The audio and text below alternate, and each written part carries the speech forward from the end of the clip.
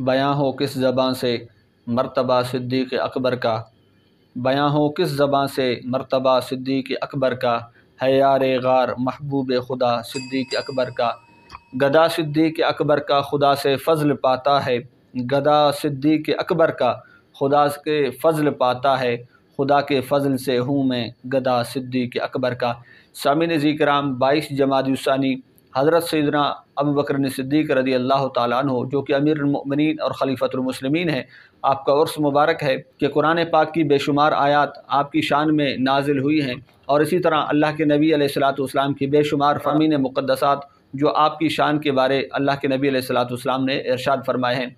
अल्लामा इबन हजर मक्की रहमत ने असवाक़ुलमहर्रिका के अंदर बारह आयात ऐसी आपने बयान की हैं जो सिर्फ़ शान सिद्दीक अकबर रदी अल्लाह तु को ज़ाहिर करती हैं। और इसी तरह आपने असवाक़ुलमहर्रिका अपनी मारूफ ज़माना किताब के अंदर एक सौ चौदह अहादीस ज़िक्र की हैं और उनमें से सत्तर अहादीस वो हैं जो सिर्फ़ और सिर्फ़ हज़रत सिद्दीक अकबर रदी अल्लाह तु की शान को ज़ाहिर करती हैं, जो खालसता आपके लिए अल्लाह के नबी सलाम ने इरशाद फरमाई। और बकिया जो चवालीस अहादीस हैं, वो वो अहादीस हैं जिनमें आपकी शान के साथ साथ असहाब सलासा, यानी हज़रत उमर फ़ारूक, हज़रत मौला उस्मान गनी, हज़रत मौला मुर्तज़ा, मुश्किल कुशा, शेर खुदा करम, अल्लाह तवजलकरीम वरदुल्ला तम अजमाइन भी शामिल हैं। अब यहाँ पर एक बात मैं अर्ज़ करता चलूँगा। हज़रत अबू बकर सिद्दीक रदी अल्लाह तु की शान के हवाले से बारह आयात वो हैं जो हज़रत इबन हजर मक्की रहमत ताली ने बयान की हैं। और वो जो अहादीस हैं वो आपने अलग से बयान की हैं। अब यहाँ पर जहन में रखने वाली बात यह है कि सत्तर अहादीस वो हैं जो सिर्फ़ और सिर्फ़ हज़रत अबू बकर सिद्दीक रदी तु की शान में हज़रत इबन हजर मक्की रहमत ने बयान किए हैं।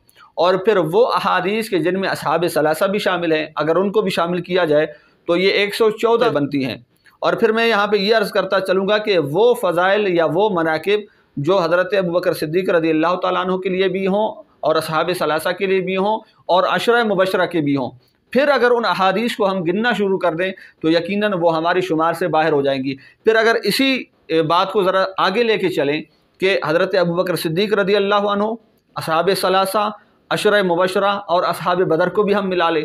फिर असहाब बदर को भी मिला लेने के बाद, चूँकि आप उनमें भी शरीक थे, उनके जो फ़ज़ाइल मनाकब हैं, अगर उनको भी बयान करें और उन अहादीस को भी अहाता तहरीर में लाने की कोशिश करें तो यकीनन हम उनको शुमार ही ना कर सकेंगे।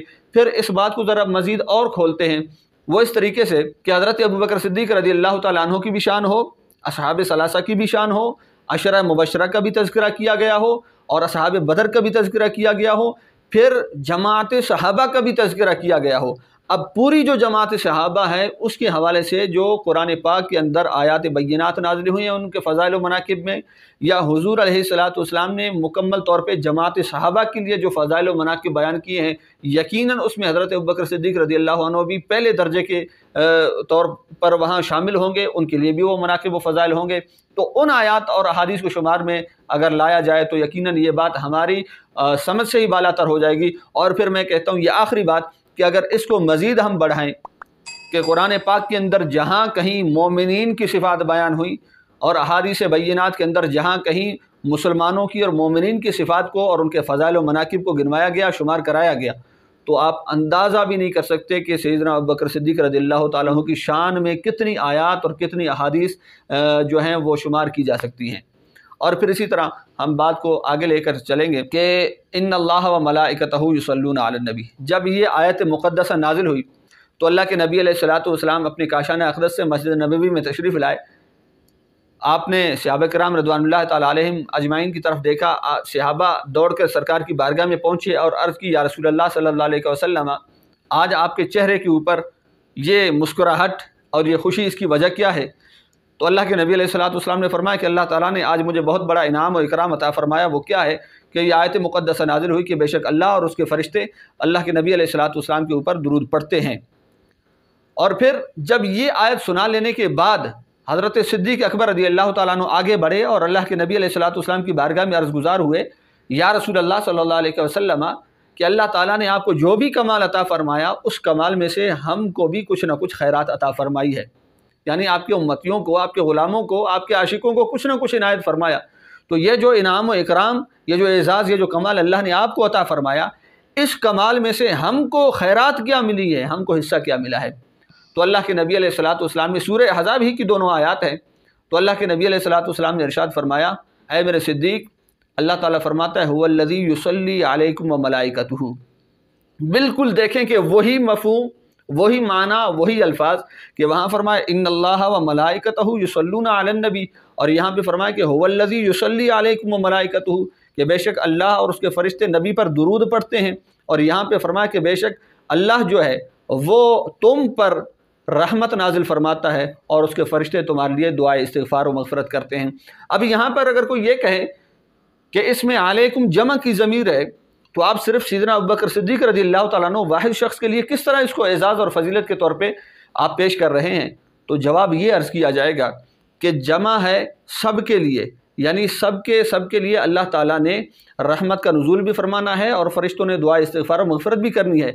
लेकिन जो पॉइंट वाली बात है, वो ये है कि सिद्दीक अकबर रदी अल्लाह तु की शान का इजहार इस तरीके से होता है कि मुराद सिद्दीक अकबर की थी, चाहत सिद्दीक अकबर की थी, दुआ और तमन्ना सिद्दीक अकबर की थी, अल्लाह ने उसको पूरा फरमा दिया। तो इससे पता ये चला, फ़जीलत सिद्दीक अकबर, शान सिद्दीक अकबर, इससे इस तरह ज़ाहिर हुई कि आसमानों के ऊपर अल्लाह ताला रहते हुए भी सिद्दीक अकबर रदी अल्लाह तु की मुराद का लिहाज रखता है कि उसको जल्द अज जल्द पूरा फरमा दिया और आपके सदक़े से हजूर सलाम की सारी उम्मत के लिए अपनी तरफ़ से रहमत का भी इजहार फरमाया और फ़रिश्तों की तरफ़ से दुआए, मगफ़रत व इस्तफ़ार का भी इजहार फरमाया। अल्लाह पाक में हजूर सलाम की और सहाबा कराम और अहल बैत कराम रिदवान तजमैन की पक्की सच्ची मोहब्बत और ग़ुलामी नसीब फरमाए, आमीन।